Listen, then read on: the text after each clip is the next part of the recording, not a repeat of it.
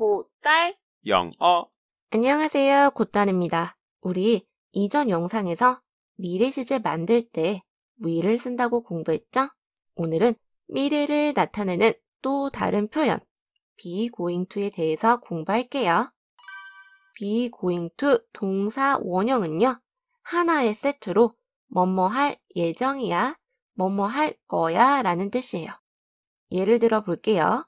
나는 축구를 할 예정이야. 뭐뭐 할 예정이야. be going to를 쓰면 되겠죠? 여기서 주어는 I, I와 짝꿍인 비동사 am을 쓰고요. 뒤에는 going to를 쓰면 됩니다. I am going to play soccer. I am going to play soccer. 여기서 to 다음에 동사 원형을 쓴 것도 확인하세요. 그럼 질문.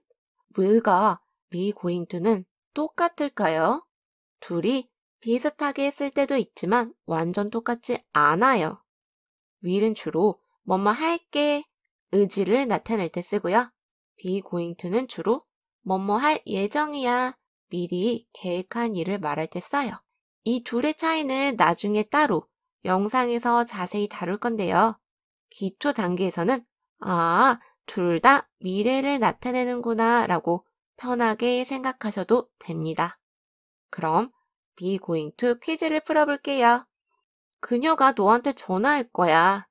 정답은 1번. 왜? 뭐뭐 할 거야. 미래에 계획된 일에는 be going to를 쓰죠? 여기서 주어가 she로 3인칭 단수. 따라서 비동사는 is를 써야 합니다. She is going to call you. She is going to call you.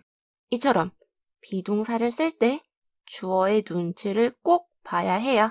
또 다른 퀴즈. 내일 눈이 내릴 거야. 정답은 1번.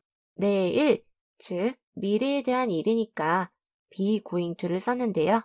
뒤에는 꼭 동사 원형을 써야 해요. It's going to snow tomorrow. It's going to snow tomorrow. 여기서 it는 it, is의 줄임형이라는 것까지 확인하세요. 자, 그럼 오늘 공부한 내용 정리. 뭐뭐 할 예정이야, 뭐뭐 할 거야. 미래를 나타낼 때는 be going to를 쓴다. 여기서 주의할 점 두 가지. 주어에 따라 비동사가 달라지고요. be going to 다음에는 동사 원형을 써야 해요. 그럼 다음 시간에는 be going to의 부정문, 의문문까지 공부할게요. 오늘 공부 끝!